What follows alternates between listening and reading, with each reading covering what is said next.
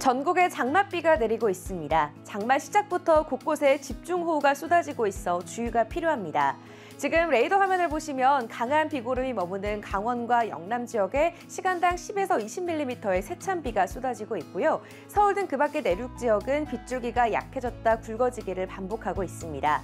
특히 이번 장맛비는 취약 시간대인 출퇴근 시간에 강하게 쏟아질 것으로 보여서 안전사고에 유의하셔야겠습니다.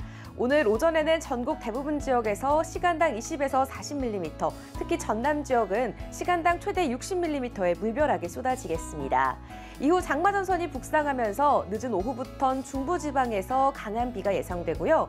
밤부터 비구름이 다시 남쪽으로 이동해서 남부지방은 오늘 밤부터 내일 오전 사이에 강한 비가 내리겠습니다.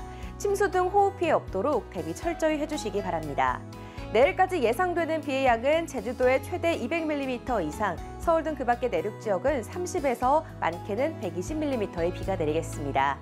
비가 내리며 더위는 주춤하겠습니다. 낮 최고 기온 서울 26도로 어제보다 7도가량이나 낮겠고요. 그 밖의 지역의 낮 기온도 부산 26도, 대전 25도, 창원 26도, 여수 25도가 예상됩니다.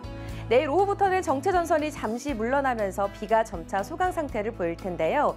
곳에 따라 약한 비가 이어질 수 있겠고요. 목요일부터 정체 전선은 다시 활성화돼 전국에 비가 이어질 것으로 예상됩니다.